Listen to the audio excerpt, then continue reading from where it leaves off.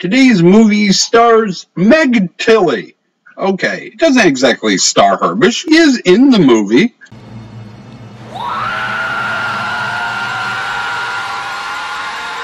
The movie actually stars a young Gabrielle Anwar who plays the deadly and beautiful Fiona in Burn Notice. After some narration introducing herself and other characters, she is almost immediately attacked in a gas station bathroom. My dad had been assigned to inspect the military southern sector of the EPA. My stepmother, my half brother, and I had to spend almost two months on the road with him. They're everywhere. They get you when you sleep. They get you when you sleep, you hear? Get, get out of here, be next. She's walking around the military base when she's surrounded by a bunch of guards. This is stopped, however, by the general's daughter, played by the adoptive sister from Child's Play 2. Be here without security clearance.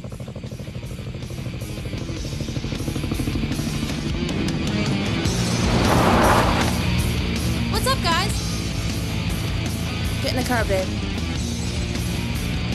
This is Jen. She's an army brat. They immediately become friends. I'll let Jen introduce her mom. Shit. This is why my dad's an insomniac. He's afraid she's gonna burn the fucking house down in her sleep. Mom, this is Marty. Marty, this is my mom. Vodka. Want some? Hmm? Somewhere along the line, her dad is doing his EPA work testing water when Forest Whitaker shows up and asks about side effects. Dad starts telling him that his kids will grow fins and shit, but no, that's not what he's worried about. I'm not talking about physically, I'm, I'm referring to psychological effects. I'm not following you. Can they affect the brain patterns? Can they interfere with chemoneurological processes? The little brother is finger painting at school and he notices some weird shit going on.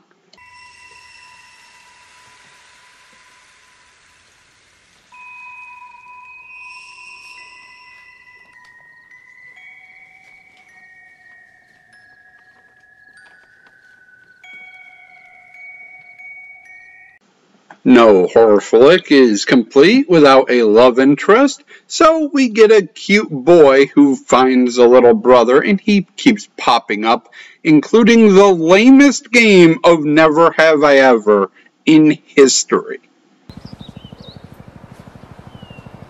What's going on? Found him wandering around. We figured he was lost. Well, this is romantic. Now what? I've never eaten Brussels sprouts.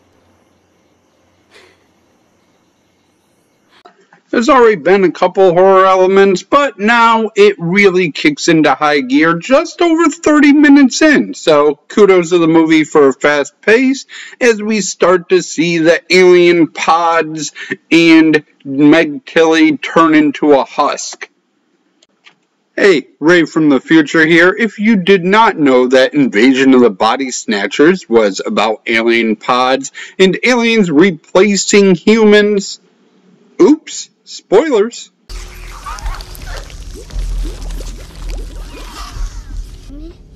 Mommy, mommy. At this point, I have a question for you, the viewer. Is Meg Tilly's sister Jennifer in this movie?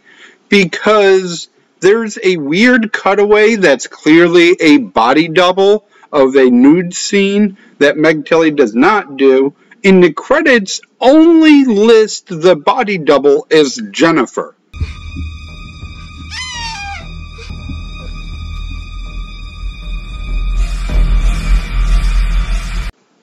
Somebody let me know. Is Jennifer Jennifer Tilly? Up to this point, we've seen some shady stuff going on, including a person getting turned into a husk, but no one believes the stepbrother that this is what's going on. He says, My mommy's dead. No one fucking believes him. Jen, the friend from earlier, she started to notice some differences in her mom's personality, as Forest Whitaker had asked about earlier. Taste it. It's water. That's right, it's water. There's always vodka in this glass. I'm leaving now. Where are you going? We're going to play bridge at the Smythes.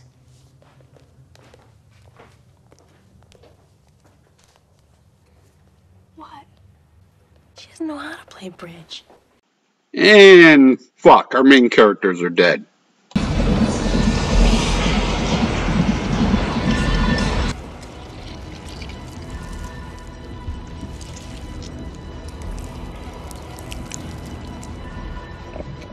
Okay, not really, but they do almost get killed, and we get some great special effects makeup.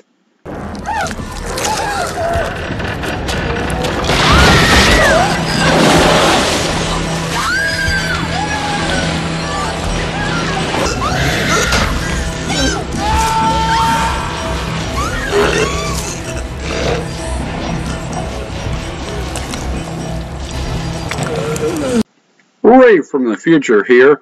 Please ignore the half of frame and nudity that I was too lazy to edit out. Thank you. And a super scary, great speech by Meg Tilly Alien. Where are you gonna go? Where are you gonna run? Where are you gonna hide? Nowhere. Because there's no one like you. The next portion of the movie goes pretty much how you would expect, as most of the army base has now been converted into aliens, and the few stragglers left alive are struggling against the hordes against them. Hey, Justin.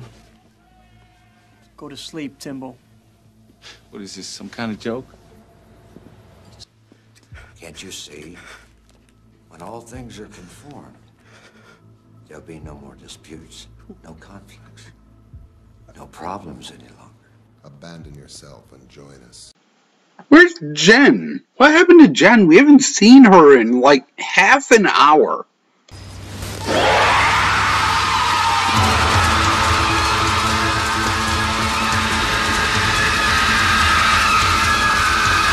When the smoke all clears, we're left with just four humans left alive Gabrielle Anwar, dad, stepbrother, and cute guy. Half brother, not stepbrother. He killed oh my father! Shoot him! It's not my dad! What are you talking about? He killed oh my Just father! relax. Shut up! Put it away. What are you doing?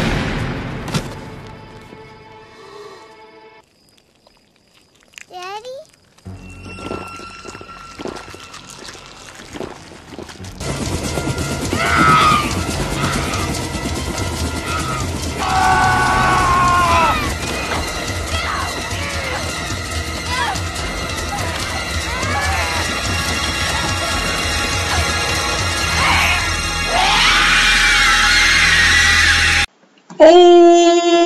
Overall, it's Invasion of the Body Snatchers. It's fine. There's a couple different things in this one.